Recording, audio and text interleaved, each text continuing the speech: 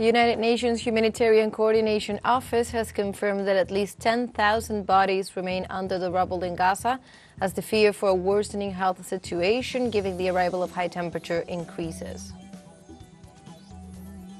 Panama Supreme Court accepted the candidacy of Jose Raul Mulino for its organization Realizando Metas or Achieving Goals days before general elections in the country. And in Haiti, several political, social, and religious organizations denounced that the election of Fritz Belisaire as interim prime minister was undemocratic.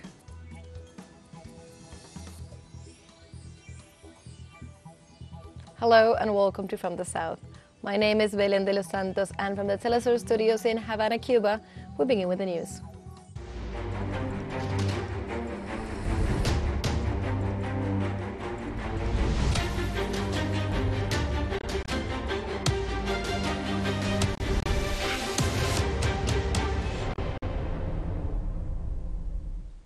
The United Nations Humanitarian Coordination Office has confirmed that at least 10,000 bodies remain under the rubble in Gaza.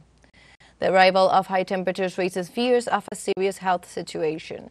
Several UN agencies and the Palestinian government have made reference to the terrifying situation in the enclave. They claim that the entire neighborhoods were destroyed in one of the most densely populated areas on the planet. In addition to the number of bodies under the rubble, they warned that there could be more than 7,500 tons of unexploded explosives taking into account that during a brief tour, the UN anti-mine team found 500 kilograms in the middle of the road. In this context, the agencies urged the entry of heavy machinery to begin the removal of debris.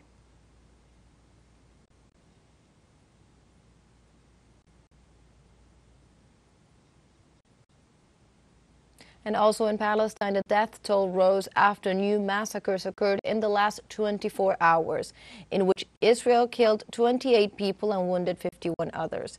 The health authorities affirmed that the total number of casualties is increasing daily due to ongoing Israeli siege that intensified as of October 7, 2023. Gazan Health Ministry affirmed that the number of martyrs so far exceeds 34,596 while the number of wounded has risen to 77,816, most of them women and children. Health authorities emphasize that those numbers do not include the over 10,000 Palestinians that remain under the rubble.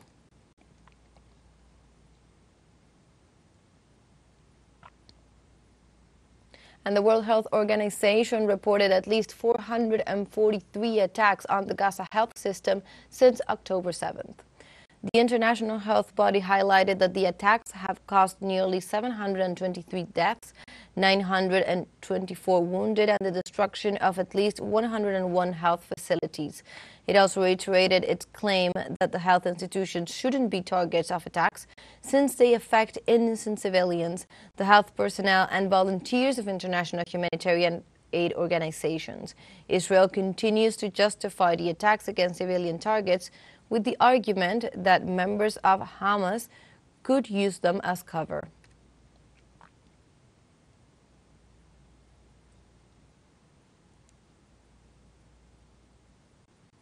And also in Palestine, Israeli occupation forces sprayed toxic and poisonous liquid inside the Khan Yunis homes, causing intoxication among its inhabitants.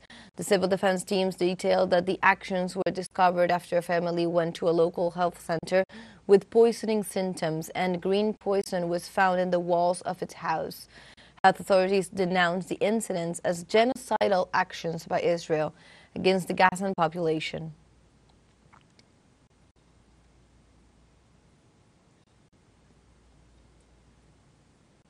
And in this context, Palestinian authorities announced the reopening of the Al Amal hospital after its closure on March 27th due to the Israeli bombardment and siege. The health facility, which belongs to the International Red Crescent Organization and is located in the city of Khan Yunis, has 100 beds and focused on maternal and child health, basic surgical and internal medicine needs, and specialized rehabilitation services. According to the World Health Organization, only 12 of the 36 hospitals in Gaza are currently partially functioning, six of them in the south and six in the north, while 23 are not functioning at all.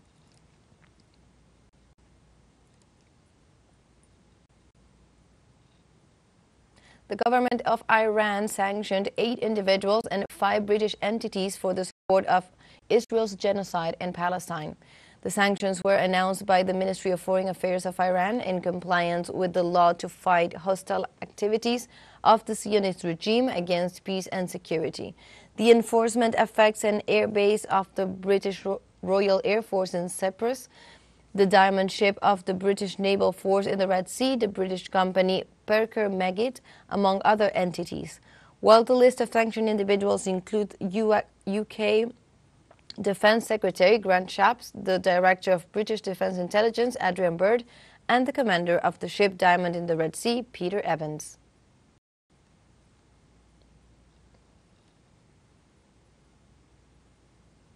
Meanwhile, in the United States, police authorities dismantled the protester camps at universities of California in Los Angeles, where more than 100 students have been arrested in pro-Palestinian demonstrations. The university was taken over by at least 250 police officers who attacked the demonstrators and forced them to leave the premises. In this context, thousands of students and professors from several universities in the North American country have been demanding for two weeks that the university stop investing in companies and individuals who profit from the war in the Gaza Strip.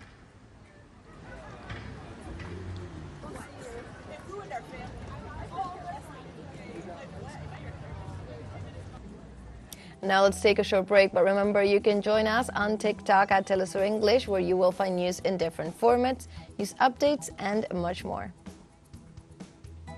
Other stories coming up. Stay with us.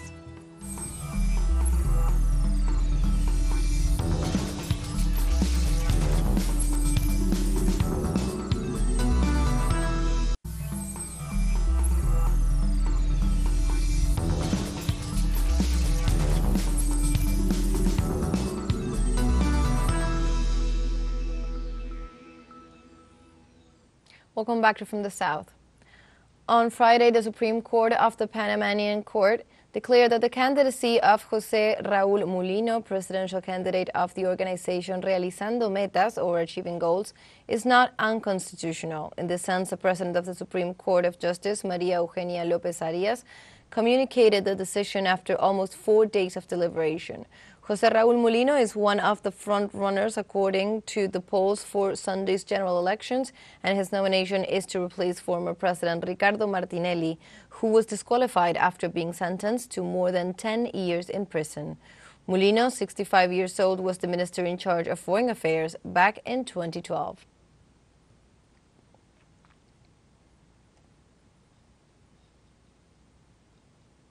And in this context, in Panama, the electoral campaign for next Sunday's presidential election has come to a close. According to the country's electoral board, eight presidential candidates have been registered for the elections. On the other hand, polls show that 20% of the more than 3 million Panamanians with the right to vote are still undecided for whom to vote. Besides president and vice president, voters will also elect the deputies to the Central American Parliament and to the National Assembly and mayors, townships, representatives, and councilmen across the country.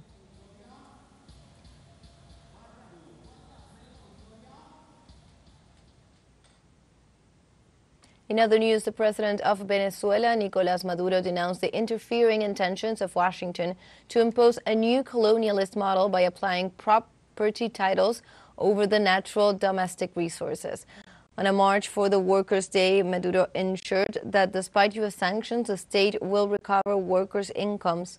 Likewise, the president indicated that the biggest mobilization of the working class ever seen in Venezuela was that of Wednesday, in which the different states in the nation gathered in the Caracas city to celebrate which, with a march, their labor demands alongside the head of state and other political authorities.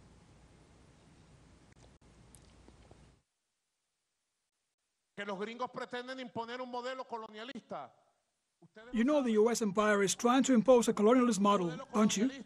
What country on earth can accept that? Will Venezuela accept to request a license from another country to produce its own oil in its own land? To take our oil out and then move it by ship and sell it? Can Venezuela accept the U.S. imposition of that model? A model that makes us go to the United States to ask for a license to produce our oil. We will never accept it. Never. In this context, the Venezuelan president also said that so far 100% of the internal food market is now produced nationally. We have guaranteed 100% supply of the country's domestic market with national production. 100% of Venezuela's food is produced here today. Thanks to whom?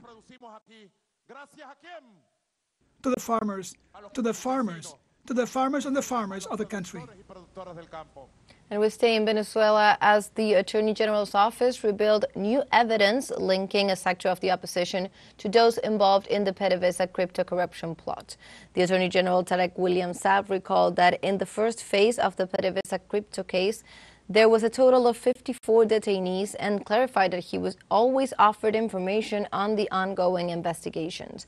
The prosecutor denounced that the former minister El Aissami and his assistants formed a criminal organization, emphasizing that the audios collected with more than 40 hours of recordings where they mentioned the coordination with representatives of the U.S. diplomacy were shown.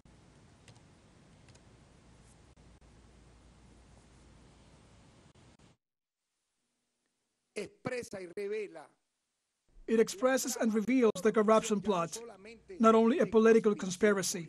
Listen, a brutal billionaire corruption that involves particularly and especially, and I say it openly, Leopoldo Lopez and Julio Borges with the PDVSA crypto corruption plot.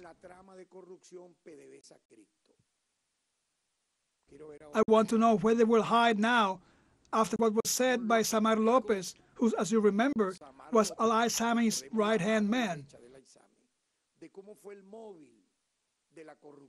about how the corruption worked through the oil tankers which they assign as they wish, without leaving any record behind, and using the names of some star contractors. In this context, the Venezuelan general attorney also stated that the evidence gathered showed a conversation in which the defendants plot against and plot to overthrow the government of Nicolás Maduro. They openly talked about the overthrow of President Nicolás Maduro and about an amateurish coup, but a coup anyway, with grenades and rifles on April 30, 2019. They talked as if regretting not having achieved their objectives. That it didn't happen because of this, or that it didn't happen because of that, and that it didn't happen because one ratted out, and so on. Regretting that only seven people showed up at the Altamira Bridge when one million were expected, etc.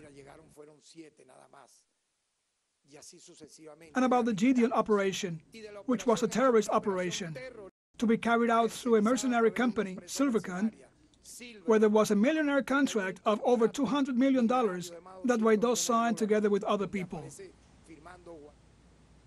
We go now to Haiti, where several social, civil, and religious organizations denounced that the election of Fritz Belisaire as interim prime minister was undemocratic. According to the Conference of Haitian Pastors, the April 3rd agreement contemplated the participation of other civil society entities, but this principle was not respected.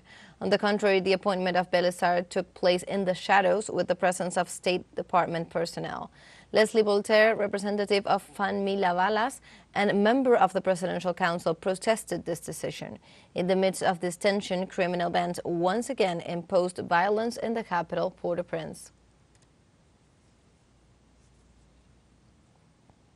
And in Haiti, gang attacks continued against the population in several neighborhoods of the capital at a time of according to in which, according to official statements, persistent gunfire by armed groups terrorized families living in downtown Port-au-Prince and outlying areas.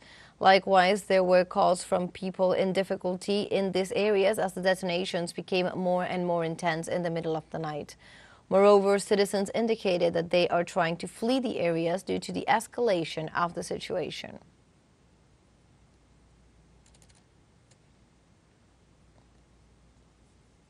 And also in this context of violence, after the former Senator Edgar Leblanc Fils was appointed as the new president of the Presidential Transitional Council in Haiti on April 30th, he promised progress in the security situation in the country. However, following this appointment, the controversy caused by the announcement of the election of a prime minister outside the stages set out in the April 3rd crisis exit agreement raises fears of a new upsurge in the crisis. And we have a final short break coming up, but before we invite you to join our WhatsApp community for our English speaking audience. You can scan the QR code on screen to join directly and also share the link to reach more people. Constant news coverage of Latin America and the Caribbean, as well as the rest of the world. Stay connected and informed with Telesur. Final short break. Don't go away.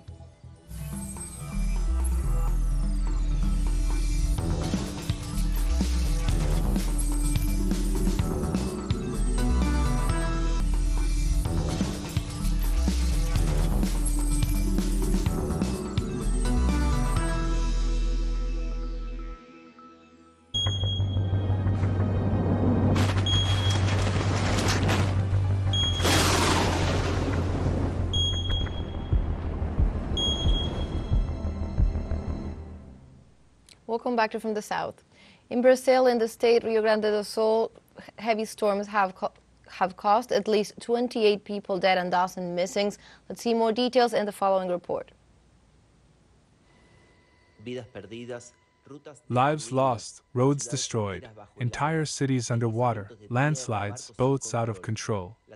The apocalyptic scenes correspond to a new extreme weather event in Rio Grande do Sul, a storm considered the biggest environmental disaster in its history, but an increasingly recurrent situation not only in this state. The Ministry of the Environment is therefore seeking to act on both an environmental disaster management front and a prevention front.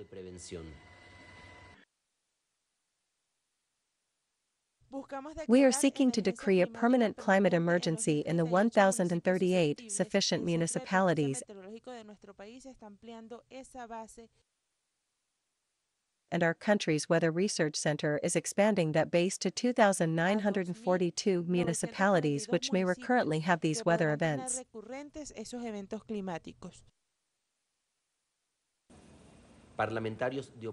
Opposition parliamentarians in Rio Grande do Sul denounced that the local government only used 0.2% of the budget to prevent environmental disasters, despite the increasingly frequent extreme weather events. President Lula went to the region and promised unlimited aid in the face of the crisis. A field hospital was set up and the armed forces sent more than 600 soldiers to the region. We will not allow a lack of resources to halt the reparation of the damages, as we did not allow it in the Vale do Taquari or during the drought here in Rio Grande do Sul.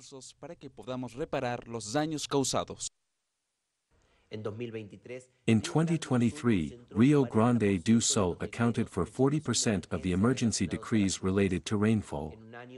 In one year, the state suffered 10 extreme weather events ranging from storms to droughts that affected food production. The emission of greenhouse gases is once again in the spotlight during the fight against climate change.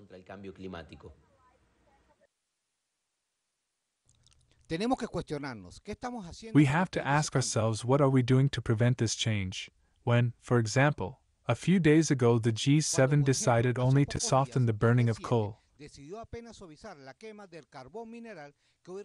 which today represents 65% of all planetary energy and is a major polluter.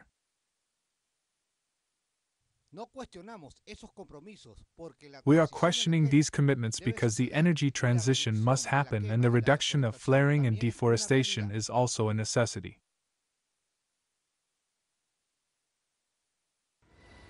The collision of a cold front arriving from Argentina and Uruguay with a dry and warm air mass in southeastern and central western Brazil, abnormal for autumn, will mean more rains will continue during the week. The scenario will worsen with the rupture of the July 14th power plant dam and its domino effect on the rivers that will affect the capital city of Porto Alegre.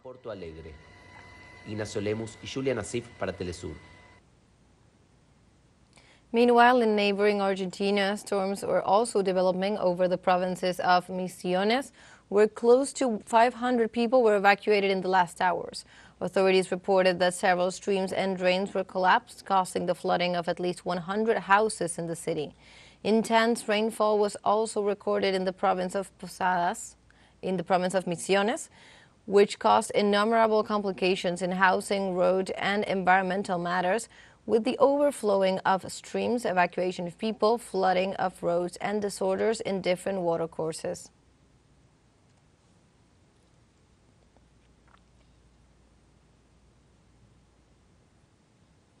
In Vietnam, over 260 hectares of forest consumed as the result of climate change induced wildfires.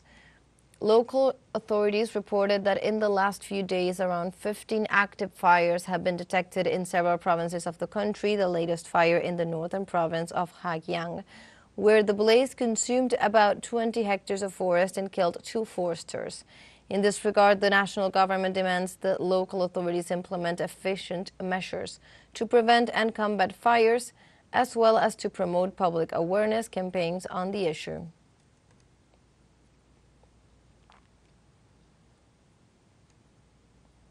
And in Colombia, the Colombian Air Force joined other work teams to support the extinction of the forest fire in the Isla de Salamanca Park in the northern part of the country. The institution provided support by making aircraft available. The deployment carried out surveillance and recognition flights over the affected region. Also, as C-40 aircraft transported professionals and specialized teams from the National Fire Department of Colombia in Bogotá to Barranquilla. The firefighter mission required the use of the Bambi bucket method, suspended by a helicopter and loading three gallons of retardant liquid and 6,615 gallons of water.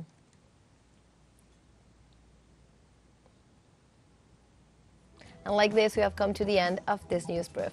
But you can find these and many other stories on our website at telesurenglish.net.